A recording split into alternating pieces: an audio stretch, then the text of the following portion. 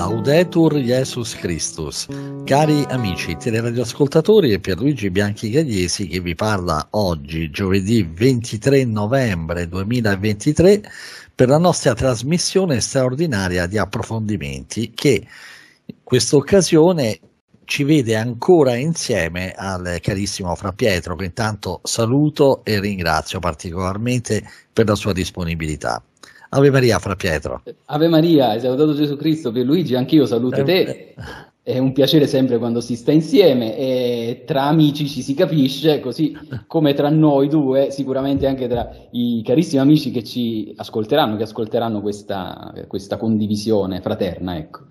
Sì, che tutti ormai aspettano con gioia perché sta diventando un appuntamento abbastanza abituale, di cui ringraziamo veramente la provvidenza e in particolar modo te, Fra Pietro, per questa tua eh, disponibilità.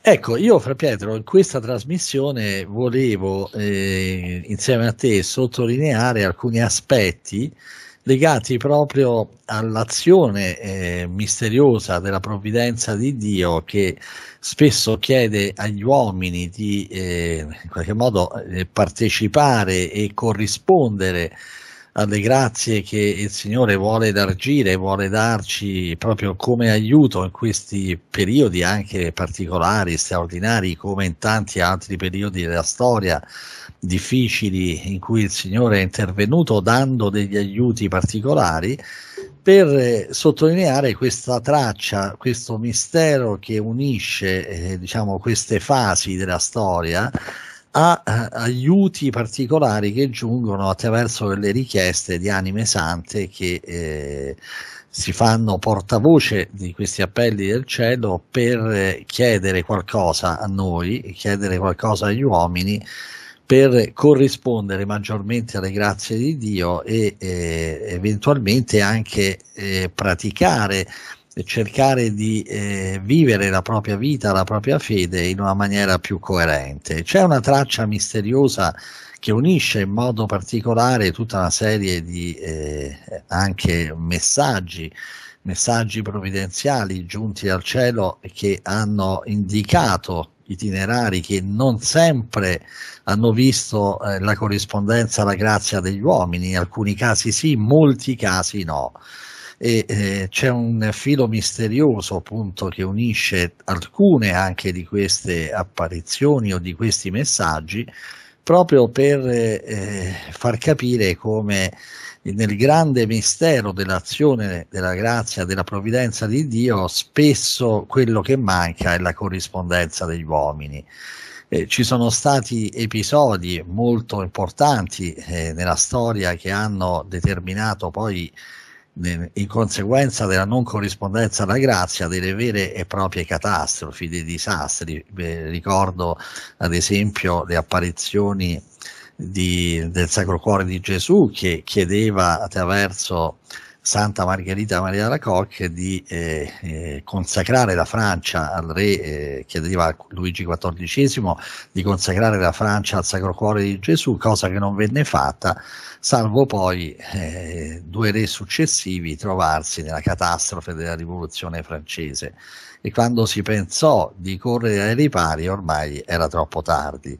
Ecco, questo filo misterioso no, che certe volte uno a volte si chiede come è possibile che il Signore leghi delle grazie straordinarie anche uh, ad azioni che sembrano apparentemente piccole, a delle pratiche apparentemente facili, ma poi alla fine, fra Pietro, scatta questo misterioso meccanismo che inceppa tutto, blocca tutto e alla fine si vanifica eh, questa possibilità di ricevere questo torrente di grazie che invece eh, non giungono più in conseguenza di, questo, eh, di questa mancata corrispondenza alla grazia. Ecco, proprio su questo punto, su questo filo misterioso che unisce appunto fatti molto importanti avvenuti in passato, ma anche pre- nel tempo presente. Eh, cosa possiamo dire, Fra Pietro, riguardo questo gioco misterioso della provvidenza di Dio e questo mistero della non corrispondenza alla grazia? Pierluigi, eh, grazie per questo um, binario in qualche modo di, di, riflessione che hai voluto aprire, eh, andando effettivamente a ripescare um, un tema, eh, un blocco tematico, perché in realtà è, è così pieno se si, se si, evidenziano poi i grandi episodi della storia recente e meno recente, ma così importante che è bene, direi proprio in questo momento che stiamo vivendo, all'alba, o meglio già dentro, eh, cambiamenti epocali e, e, e, tragedie che possono effettivamente allargarsi su vasta scala, riprendere questo punto di grande importanza. Allora, visto che Sant'Agostino dice in certi unitas in dubis libertas, cioè nelle cose certe bisogna essere eh, diciamo, avere lo stesso parere nei dogmi, quello è e quello deve essere, ma nelle cose dubbie una certa libertà di pensiero si può ed è giusto averla, allora mi sia permesso esprimere questa convinzione, cioè che il Signore si serva di queste manifestazioni ad alcune anime elette, come è, stato, come è stata Santa Margherita Alacoque col Sacro Cuore, come è stata Sor Lucia di Fatima col cuore immacolato, come è stata eh, la serva di Dio Bert Petit, belga con il cuore addolorato e immacolato di Maria, di cui diremo magari qualcosa dopo perché è importante, la serva di Dio Maria Natalia Magdolna, cioè tutta una, una delle anime che, la cui santità è palese, anime semplici, anime umili, generalmente non figure del clero o dell'alto o del basso clero, ma ecco, anime semplici, ma che poi hanno avuto, intessuto rapporti di, eh, diciamo, di direzione spirituale, di obbedienza umile, ecco. Però c'è questo fatto qui, che le inadempienze, questo fil rouge di inadempienze eh, si sta, come dire, eh, ingrossando sempre di più. E perché? A mio avviso ci sta un motivo anche un po' di superbia, a mio avviso, cioè perché questo lo sappiamo da un fatto che la storia ci narra, cioè Pio XI, il Papa del Concordato dei Patti Lateranensi, che se non erro fece 20 29 o 30 concordati in tutto il suo pontificato, quindi un papa anche dalla tempra, diciamo, energica, forte, anche politica, un papa che seppe avere la forza e l'energia di condannare ufficialmente e pubblicamente il nazismo e il, il, il comunismo. Tuttavia, quando venivano da lui dei, eh, dei eh, diciamo, funzionari insomma, del, del, Vaticano che gli portavano delle notizie di questo genere, c'è quest'anima lì in Portogallo o, o lì in Francia eh, a cui il Signore ha chiesto ecco, di questa, fare una consacrazione, questo o quell'altro, il Papa si irritava, si irritava, batteva i pugni e diceva ma perché se io sono il Papa il Signore non viene a dirmelo a me? Allora, purtroppo questa cosa qua, eh, se non in modo così eclatante magari come Papa Pio XI, forse non è santo proprio perché probabilmente sarebbe stato canonizzato se ci fosse stato anche questo aspetto nella eh. sua eh, pontificato, però è una cosa che contraddistingue un po' il clero e, ah, e poi l'altro motivo penso che il fatto di rimanere ingabbiati in questa categoria di rivelazioni private. Siamo anche sempre qui nel, nel discorso in dubis libertas, eh? io non dico niente di definitivo, ma a mio avviso il fatto di rivelazione privata, se si prende il, il senso che si è sempre preso, che non è rivelazione pubblica, che insomma non sono nuovi contenuti di fede, ci siamo.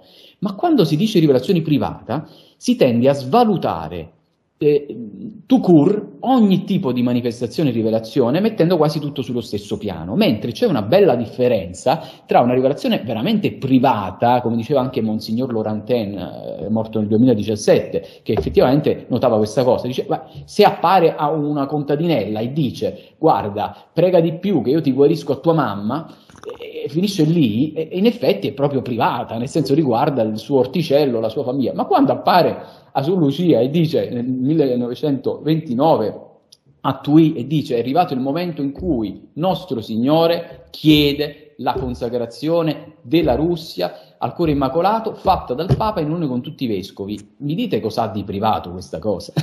non è privata. Sì, è sicuramente privata in quel senso lì che no, non è qualcosa che aggiunge contenuti successivi, ma il Signore lì vuole obbedienza, non dice se mi si vuole ascoltare bene, però poiché è una rivelazione privata potete anche ignorarmi, non dice così. Allora, secondo me, su questi due punti che ho evidenziato, il fatto un po' di questa superbia intellettuale o legato, forse clericalismo, vogliamo usare questa espressione, ecco, e dall'altra parte il fatto di non riuscire a sganciarsi da questa idea. Rivelazioni private, bisogna vagliare, perché quando ci sono alcune di una certa rilevanza anche sociale, sociopolitica, internazionale, bisogna fare sul serio. E poi uno dice no, chi me l'ha detto, chi non me l'ha detto, va bene, interpelliamo la storia e se noi interpelliamo la storia, vabbè, partiamo dal Sacro Cuore, giusto per avere un incipit. Tutte le inadempienze hanno avuto delle situazioni, eh, de, de, dei riverberi, diciamo, catastrofici. Posso eh ricordare sì. per Luigi solo quello che è successo eh dopo sì. la non... Eh sì. Ecco, le conseguenze dell'inadempienza della richiesta al Sacro Cuore. Innanzitutto, il 17 giugno 1689, Suor Margherita Maria Lacoque, santa, canonizzata dalla Chiesa, faceva pervenire, metteva per iscritto in quella data e faceva pervenire al re di Francia, Luigi XIV, la, la volontà di Gesù Cristo di consacrare la Francia al Sacro Cuore. Luigi XIV non ascoltò. Cosa avvenne? Esattamente un secolo dopo, stesso giorno, 17 giugno del 1789, un cento anni esatti dopo, dal giorno in cui Santa Margherita aveva scritto, il terzo Stato si erse, autoproclamandosi Assemblea nazionale e strappando a Re Luigi XVI il potere legislativo, inaugurò la rivoluzione francese. E il 21 gennaio 1793 la Francia, irriconoscente e in ribellione contro il suo Dio, osò decapitare Luigi XVI, un re anche molto pio che però ebbe il demerito, il grave demerito, di non prendere in considerazione questa richiesta. Ma le conseguenze di questa inadempienza, da quel se- cosa successe in quel secolo? Dal, dal 17 giugno 1689 al 17 giugno 1789, un declino progressivo globale, non solo della Francia, ma dell'intera Europa, perché Cristo aveva scelto la Francia per essere in qualche modo eh, faro per tutte le nazioni europee. Con la caduta della Francia è caduta tutta l'Europa. Andiamo sul concreto. Dopo la morte di Luigi, XVI, di Luigi XIV, quella Francia che avrebbe dovuto diventare promotrice della riscossa cristiana cedette alla crescente influenza del razionalismo e del libertinismo, che la indebolirono spiritualmente e moralmente ma anche l'intero continente entrò in un lungo periodo di crisi, indicato dagli storici come inizio della decadenza europea, che sfociò nella tragedia della rivoluzione francese. Tuttavia nel XVIII secolo alcuni membri della corte francese vennero a conoscenza delle divine richieste e diventarono apostoli della devozione al Sacro Cuore, come la regina Maria Lecinska, suo figlio il Delfino, cioè erede al trono di Francia, che fecero erigere a Versailles una cappella in onore del Sacro Cuore che fu inaugurata successivamente. Insomma, ci fu un certo interesse, però nemmeno Luigi XVI, a cui pervenne poi questa richiesta tramite questi apostoli, esaudì e toccò proprio a lui la drammatica sorte di pagare le conseguenze di queste inadempienze, non solo la rivoluzione, ma anche la decapitazione.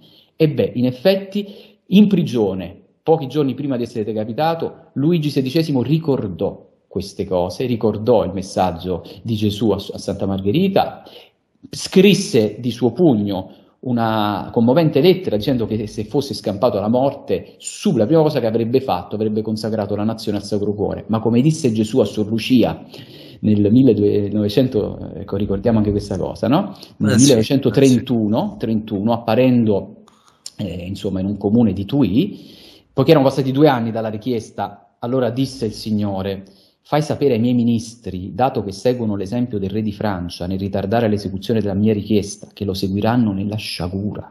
Non sarà mai troppo tardi per ricorrere a Gesù e a Maria. In effetti, il re Luigi XVI si ricordò tardi. Noi non ci stiamo manco ricordando tardi di questa cosa, non ce lo stiamo proprio ricordando. Cosa succederà? Punto interrogativo. Basta, lascio la parola a te Pierluigi adesso. No, eh, hai fatto un excursus straordinario, molto importante. Eh, tra l'altro eh, ricordiamo come eh, all'interno di questa catastrofe che è stata diciamo, provocata dalla rivoluzione francese, le uniche aree della Francia che rimasero integre in qualche modo e fedeli a questo messaggio furono proprio la Vandea e la Bretagna dove aveva predicato San Luigi Grignon de Montfort. Quindi le zone infatti che poi insorsero per difendere eh, proprio il Sacro Cuore, per difendere la regalità, la monarchia e, e per difendere la proprio Francia cattolica, furono queste regioni che diedero una prova di un eroismo tra l'altro straordinario, ma ormai eh, i giochi erano fatti, in qualche modo il disastro era giunto. Eh, se volessimo, Fra Pietro, attualizzare la situazione di allora, ecco, riguardava la Francia in modo particolare, ma poi è stata una catastrofe che si è abbattuta su tutta l'Europa, eh, e volessimo oggi eh, aggiornarla alla questione legata alle apparizioni di Fatima, alla non corrispondenza anche qui eh, sulle richieste della Madonna riguardanti la consacrazione della Russia e i disastri che oggi stiamo vedendo, come li potremmo collocare secondo te? Sì, eh, beh Pierluigi, io ecco, mentre preparavo un po' di schede, di cose per la trasmissione, mi è venuto questo pensiero, ho detto guarda un po', eh, un secolo esatto dall'inadempienza della richiesta di nostro Signore di consacrare la Francia, esatto, un secolo esatto, e diciamo sì, c'è stato un declino progressivo dal momento stesso in cui la cosa è stata messa da parte, però come dire, eh, il, punto apice della, della sciagura è venuta con uh, un secolo esatto, con rivolu- lo scoppio della rivoluzione francese. Io stavo pensando, ma non è che pure per noi adesso dovrà passare un secolo esatto da quella richiesta del 1929 eh, per una sciagura immane che può prendere proporzioni, Dio solo lo sa, insomma, io questo non lo so, la butto lì come un'ipotesi. Sta di fatto che se questo non possiamo saperlo, anche se ci mancano pochi anni, quindi se in qualche modo chi, chi, chi, chi, è che ascolterà questa trasmissione per Luigi? I nostri amici, le nostre amiche, non certo il Papa, non certo i vescovi. Certo. Peccato in qualche modo perché in effetti ci sono, c'è certo. un, una porzioncina di anni che permetterebbe ancora di leggere la nostra situazione in quell'ottica che diceva il Signore a Sor Lucia non è troppo tardi per ricorrere a Gesù e a Maria, però verrà un momento in cui sarà troppo tardi. Allora, però, anche qui non è che possiamo risolvere questo problema qui. Io però vorrei dire, in effetti, in questo secolo, diciamo quasi compiuto da quella richiesta, eh, noi già vediamo che le devastazioni inenarrabili e non c'è il tempo per fare una cronistoria, ma non c'è bisogno, ecco, i nostri amici così se fanno un po' di mente locale, ecco, si rendono conto. Una, ora, beh, le devastazioni, devastazioni inarrabili nel corso dei decenni, ma ora abbiamo una nube tossica e per ricordare due pa- profezie di Padre Pio, quando disse nella prossima generazione i demoni si incarneranno negli uomini dalla fanciullezza all'età senile, Padre Pio disse questa cosa micidiale e, e, io quando l'ho sentito ho detto mio Dio ma siamo sicuri che me l'ha detto Padre Pio? Se non fossi sicuro per il testimone di massima fiducia. Però adesso abbiamo in qualche modo questa esperienza diretta perché delle persone ti dicono proprio questo, mi sembrano demoni non uomini, alcune persone che vedo in giro, con cui sono in contatto. E l'altra cosa terribile che disse a Clonice Morcaldi, che aveva questa sensazione percepiva i demoni attorno, in giro, e, lo disse a Padre Pio, Padre sto, sto ammattendo, Padre Pio disse se i demoni prendessero la consistenza fisica, si facessero vedere, la consistenza fisica di un granello di sabbia, oscurerebbero il sole perché sono troppi qui sulla terra, sganciati dall'inferno, perché noi abbiamo la, dato la libertà, tramite le nostre volontà cattive, di venire qui a fare il loro lavoro. Quindi c'è questa nube tossica che ci avvolge e in qualche modo il sole spirituale, il sole della grazia, il sole di Dio, il sole del bene è oscurato. E mi ricordo un'altra espressione terribile di Cardinal Pacelli, ancora non era Papa Pio XII, che parlando con un amico conte, gli disse, io sono preoccupato per il messaggio che Lucia di Fatima ha dato al mondo e parlava proprio di questo suicidio della fede suicidio della fede. Allora, secondo me l'espressione più eh, efficace, una metafora più efficace per capire in che stato ci troviamo a quasi un secolo da quell'inadempienza è suicidio, suicidio della fede, suicidio della morale, suicidio del bene, siamo al suicidio. Allora a questo punto non è che l'ultima, visto che si dice, forse anche giustamente, io ne sono convinto che eh, bisogna fare sempre tutti gli sforzi fino all'ultimo, no? come il, il soldato che pure da solo contro i nemici fa il suo dovere di soldato e se c'è da morire c'è da morire. Questo sì, però dato la situazione di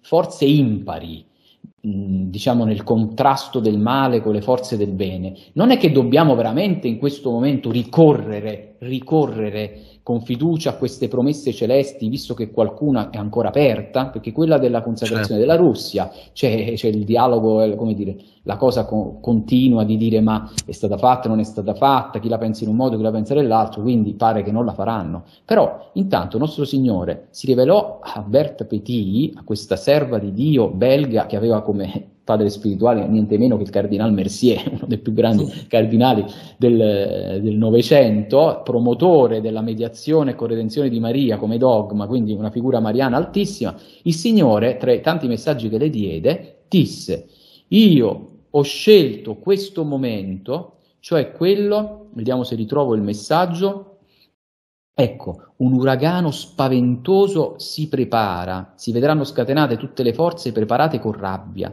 È questo il momento ma, o mai più di abbandonarsi a cuore addolorato e immacolato di Maria e in un altro punto dice che ha scelto l'ora della, eh, del, del, del, declino universale. Vediamo qui.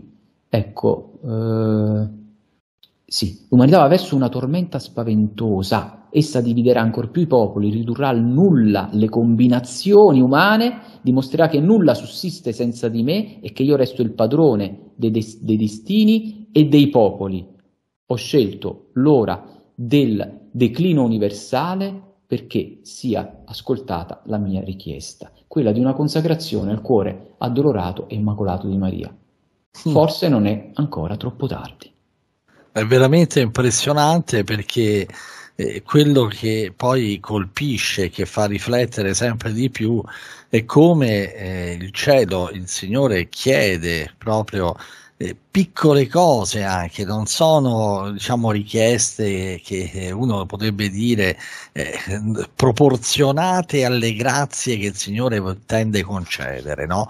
Perché poi anche relativamente alla Francia di Luigi XIV eh, la richiesta diceva che se il re avesse corrisposto alla grazia, avesse consacrato la Francia, la Francia avrebbe svolto un ruolo straordinario, cioè avrebbe rafforzato proprio la sua presenza, il suo potere anche dal punto di vista dell'influenza che la monarchia francese aveva, quindi cioè una catastrofe segnata per una non corrispondenza alla grazia che è veramente certe volte misteriosa incomprensibile, ma questo è il mistero dell'animo umano che, che di fronte anche a delle opportunità che il Signore dà eh, si chiude misteriosamente e, e blocca l'itinerario della provvidenza di Dio. Certo, Pierluigi, e, ehm, è impressionante vedere questo iter, come dire, eh, quasi monotono, va bene? Va, eh, non, non, c'è eh, a livello così globale eh, una presa di coscienza di questa logica che deve, deve essere un po' eh, riconsiderata.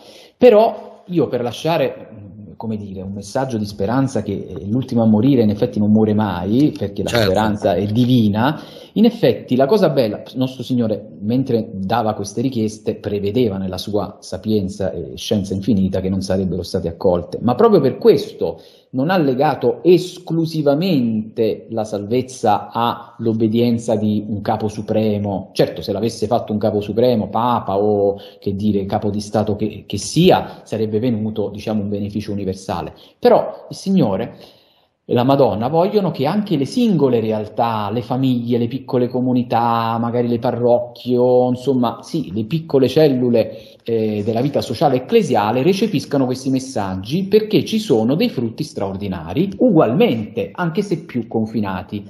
E a sì. me viene in mente il fatto, giusto per dirne una, che il Portogallo eh, accolse la richiesta di nostro Signore e consacrò al cuore immacolato il paese. Difatti il Portogallo fu risparmiato sia dalla seconda grande guerra, dalla seconda guerra mondiale, che dal comunismo. E questo è un dato storico, inoppugnabile. Certo, eh non è stato risparmiato tutto il mondo, ma il Portogallo sì, perché ha obbedito. Così come la richiesta di eh, Nostro Signore alla serva di Dio Bert Petit, e come ci dice l'autrice del libro su di lei, no? Irene Corona, che la, questa richiesta principale della consacrazione di tutta la Chiesa giace, diciamo, ancora inevasa nei cassetti vaticani, dove sì. le occasioni le, eh, sì, eh, di, di, riprenderla non sarebbero poche, ma niente da fare. Però ci sono dei casi molto belli che a me piace ricordare, proprio brevemente, Invece certo. dove essa si è, si è eh, ascoltata, le cose sono state molto diverse. E, ad esempio, eh, vediamo qui, molte comunità che prima e dopo il movimento delle consacrazioni a cuore immacolato iniziato con la consacrazione del mondo fatta da Pio XII nel 42, si consacrarono a cuore adorato immacolato, attestano i benefici effetti di santificazione e protezione da esse risentiti, specialmente durante gli ultimi mesi di guerra. Missionari scrivono dal Congo, dalle Filippine, dalla Cina, dal Marocco, dall'Algeria, dalla Canada, rilevando quanto influisca questa devozione, soprattutto dopo la consacrazione effettuata secondo il volere del Signore, per comprendere più profondamente eh, il mistero di Maria in quei popoli e quindi comportarli a conversione. Oppure l'altra cosa che si può dire, che dove è stata intronizzata anche nelle famiglie questa immagine bellissima dei due sacri cuori sormontati dalla colomba dello Spirito Santo, ehm, molti migliaia di quadri furono ecco, intronizzati nelle famiglie, nelle case e ci fu protezione spirituale e materiale in questi focolari dove ciò è avvenuto. Ma la cosa è più eclatante che il vescovo di Westminster nel 1916 accolse la richiesta di Bert Petit, quindi un vescovo in Inghilterra, fece ben tre consacrazioni, tre consacrazioni eh, alla, al cuore addolorato e immacolato di Maria, sui nuovi impulsi del Signore che poi richiedevano un atto ancora più pubblico, obbedì in tutto e cosa avvenne? Avvenne che, che qui sarebbe lungo, ma sono degli episodi storici incredibili, eh, ad esempio nelle memorie del maresciallo Foch, che era totalmente ignaro di, di, di, questo fatto soprannaturale, semplicemente lui scrive a testa quello che era successo, che gli inglesi combatterono in modo straordinario riportando vittorie su vittorie. Al principio d'ottobre avevano sfondato nei punti più solidi la formidabile linea Hindenburg, ma fatto strano, queste vittorie erano state da essi conseguite quasi a loro insaputa, essi sembravano non essersene resi conto, eccetera, eccetera.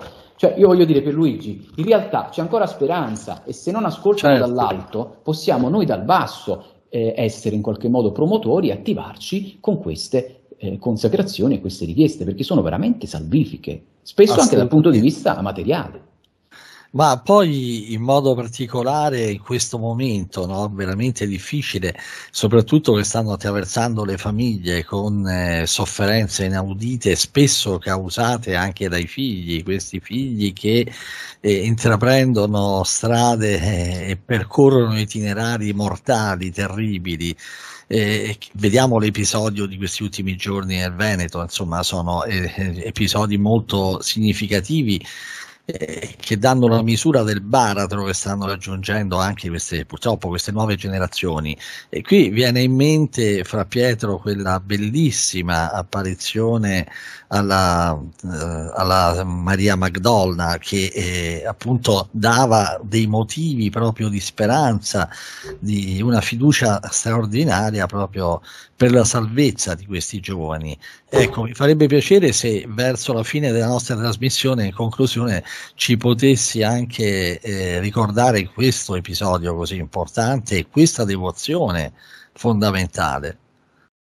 Guarda che Luigi, molto molto volentieri. Allora, innanzitutto eh, si tratta di renderci conto che noi abbiamo delle scialuppe di salvataggio ecco, per il nostro tempo e devono essere fatte conoscere alle anime. Dio lo vuole e, e, e così deve essere. Del resto abbiamo, ripeto, anche le spalle coperte, perché sono figure veramente di santità queste di cui stiamo parlando, non chiunque preso, pescato da, da, da qualsiasi parte, sono figure di grandi santità, promosse, appoggiate, stimate, capite, comprese da figure come Cardinal Mizenti, nel caso della, della eh, mistica ungherese Mariana Gdolna, abbiamo detto il Cardinal Marsier per la Bert Petit, ma poi se si legge la vita di queste anime sono anime immolate, anime eucaristiche, anime mariane, anime olocausti, anime veramente di grande santità. Quindi andiamo tranquilli, andiamo sereni, ecco, in questo senso.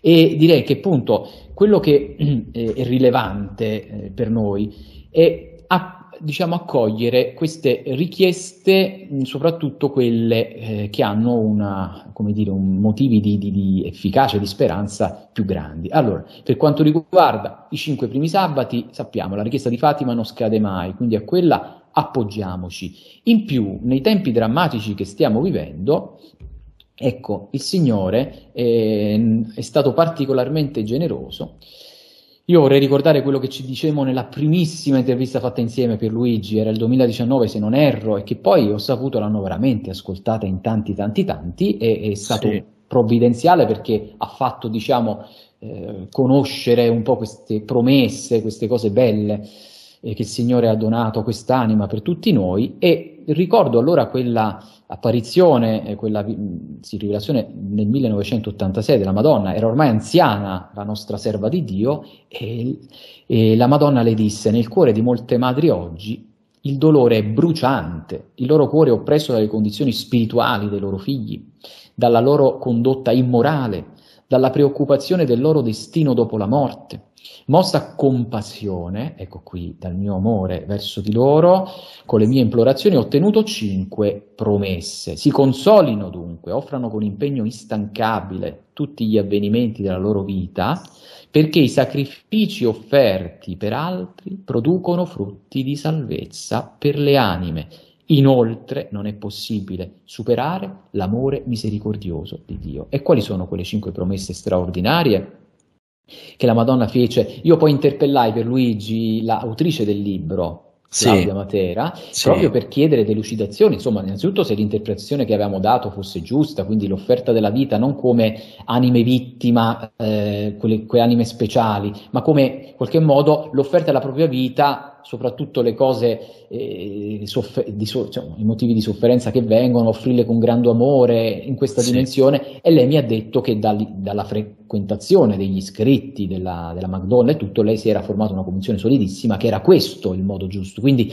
non, non, certo. non, è, non è richiesto alla mamma adesso che magari ci sta ascoltando che faccia diciamo, un voto di vittima, eh, anche perché quello non, non, è lecito se non quando si sta a, a stati elevatissimi, ma quello di certo cambiare la prospettiva, l'ottica con cui guarda la propria vita, magari anche le disfatte, le distruzioni, gli sfaceli, e anziché appunto ribellarsi o in qualche modo dire eh, non c'è più niente da fare, trasformare tutto in offerta. Allora ecco che arriva questa grazia straordinaria delle promesse, nessuno dei loro familiari andrà all'inferno, anche se l'apparenza esterna lo farebbe supporre perché al momento in cui l'anima abbandona il corpo riceveranno la grazia del pentimento perfetto. Numero due, nello stesso giorno dell'offerta saranno liberati dal purgatorio tutti i defunti della loro famiglia. Incredibile. Numero tre, al momento della loro morte sarò loro vicina e porterò la loro anima alla presenza della Santissima Trinità senza passare dal purgatorio. Numero 4. I loro nomi saranno iscritti nel cuore di Gesù e nel mio cuore immacolato. Numero 5. Per questa offerta unita ai meriti di Cristo salveranno molte anime dalla condanna eterna, quindi che va anche al di là del nucleo della propria famiglia, si estende ai grandi bisogni universali e beneficeranno le, loro, le anime fino alla fine del mondo. Bah, io non so, veramente.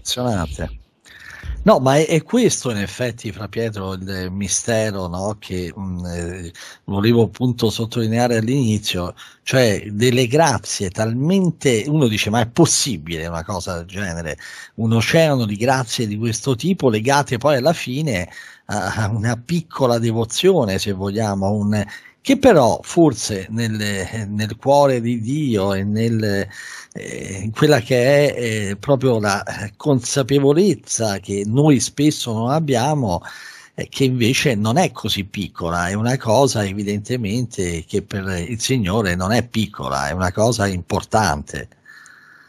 Sì, poi c'è anche la logica di quella obbedienza mh, che il Signore vuole eh, ecco. che è indipendente, dal, è indipendente, dall'opera esterna, perché cos'è che produce la, diciamo, la svolta e quindi eh, ottiene questa salvezza individuale o poi dopo più ampia? È legata all'obbedienza in sé, non tanto alla cosa. Sì, Ricordiamo sì. biblicamente il caso di Naaman, il Siro, no? che si bagnò sì. sette volte al Giordano e in effetti era titubante all'inizio, dice ma che mi dice qui il profeta? Se era un profeta di Dio mi avrebbe detto un'altra cosa, io che sono un, un, un, un uomo d'armi, mi viene a dire di bagnarmi. Alla fine poi si convinse, lo fece e guarì dalla lebbra. Oppure il caso di Bruno Cornacchiola, il veggente delle tre fontane, dove la Madonna apparendogli in quel eh, famoso 12 aprile 1947, gli disse la promessa di Dio rimane in eterno. I nove primi eh, venerdì del mese che tu spinto dalla tua amorevole moglie hai fatto, quindi eh, dice la moglie dietro, insomma che ha, ha, certo. l'ha convinto a farli, adesso ti hanno dato questa grazia e quindi la conversione e poi addirittura è diventato uno strumento di, di, di, di Dio e della Madonna Bruno Cornacchiola diventando il veggente delle tre fontane che ha annunciato a tutto il mondo queste rivelazioni però era un peccatore un, un, eh sì, un protestante eh sì. incallito hanno fatto e lui Esatto, e lui però, ecco, il punto è questo, li ha fatti e li, li ha fatti. fatti. e li ha fatti evidentemente seriamente. E qui c'è un'analogia anche con Alfonso Ratisbonne, no? per la richiesta che gli fece quel suo amico di fare, di recitare la preghiera del memorare, ricordatevi Pitutissima Vergine Maria, per nove giorni consecutivi e di mettersi al collo la medaglia miracolosa. Lui è ebreo che non credeva assolutamente in queste cose, lo fece. Ecco, questo mi sembra il punto fondamentale, Pietro, cioè l'ubbidienza, no? in qualche modo, anche se non convinto perfettamente, però l'ubbidienza, il fatto di dire mi fido, io n- non sono convinto ma lo faccio. Esatto, Pierluigi, è quell'obbedienza che però riesce ad albergare, a trovare spazio nel cuore dei piccoli, degli uomini, eh, degli sì. umili, dei semplici. E in effetti è vero, ci sono dei, delle eccezioni alla norma, Pettirati Bon era un ebreo, un orgo, cioè, come dire, uno spirito orgoglioso, quindi effettivamente è un po' un'eccezione, però sono soprattutto, è soprattutto questa categoria qui che accoglie ben volentieri e non si fa troppi problemi di ma perché questo, perché quell'altro, perché il Signore chiede questo e non quell'altra cosa. In, gli interessa che lo chieda il Signore e che dal cuore di Gesù procedano, eh, eh diciamo, promesse, benefici così grandi. E quindi dico, ringraziamo il Signore se facciamo parte di questa categoria, se veramente ehm, siamo, diciamo, desideriamo essere di questo piccolo gregge del Signore, ma piccolo, semplice, umile, insomma, che non ha grandi aspettative o grandi missioni, dico esternamente parlando, eh, perché poi la missione di salvare le anime è la più grande di tutte, eppure una casalinga può salvarne tantissime con la sua offerta, però dico ringraziamo il Signore perché è proprio lì che trova il terreno più fertile eh, quindi siamo in qualche modo, eh, possiamo ritenerci, cioè soprattutto queste persone qui privilegiate, per non avere tutte queste impalcature, diciamo, mentali o strutture e pregiudizi e così accogliere con tanta semplicità queste grandi promesse Signore. A cui bisogna credere perché c'è la storia che ci dice che è così, quindi come dire c'è anche la, la convalida dei fatti concreti, contra factum non est argumentum, dicevano gli antichi, non si può obiettare nulla ai fatti reali. Ecco. Eh sì. Eh sì, e siamo ormai giunti al termine anche questa volta della nostra trasmissione, che peraltro è volata, è stata interessantissima che si conclude comunque fra Pietro con questo appello duplice da una parte eh, il mantenersi umidi, che è diciamo, un elemento fondamentale per poi eh, avere, non avere quei problemi che eh, diciamo, si, si, si, provocano nel momento in cui uno eh, vive diciamo, in questo stato di orgoglio, di sufficienza, di giudicare tutto così in maniera minuziosa, maniacale, cercando sempre di trovare tutte le spiegazioni e poi nello stesso tempo anche eh, in qualche modo lasciarsi guidare dalla provvidenza di Dio e accettare di eh, uniformarsi alla sua volontà, di ubbidire in qualche modo anche a quelle indicazioni che si manifestano attraverso queste vie straordinarie. Sì, io mi permetto a questo punto, per Luigi volevo dire, qui siamo in conclusione, che quando sì. Dio piacendo la nostra intervista sarà disponibile quindi sui canali di divulgazione YouTube, sarà possibile avere sempre quello spazio di descrizione dove io volentieri metterò eh, diciamo, dei link per poter a, diciamo, raggiungere questi sussidi, queste cose di cui abbiamo parlato, perché magari qualcuno che ci ha ascoltato è, è giustamente veramente interessato, dice io vorrei fare questa, questa cosa qui, questa devozione, Bene. vorrei accogliere, ma dove le prendo? Allora noi Bene. ci premureremo di fare questo, perché grazie a Dio eh, abbiamo lavorato nel corso degli anni e, e, sono disponibili anche in rete, ecco, tutte queste cosette. Quindi questo vorrei dirlo per rassicurare le persone. In ultima Bene. analisi vorrei fare anche questo appello a rivalorizzare, visto che siamo nei tempi della consacrazione mariana, e voi a Schio, come anche insomma, la nostra realtà, vive di consacrazione, promuove la consacrazione delle anime, veramente abbracciamola. Allora chiudo con questo appello, che Luigi veramente chiudo. Sì. Vorrei dire, la situazione della Chiesa e del mondo è senz'altro, la vediamo, critica, estremamente critica, e non sappiamo quanto Dio potrà ancora trattenere il braccio della giustizia.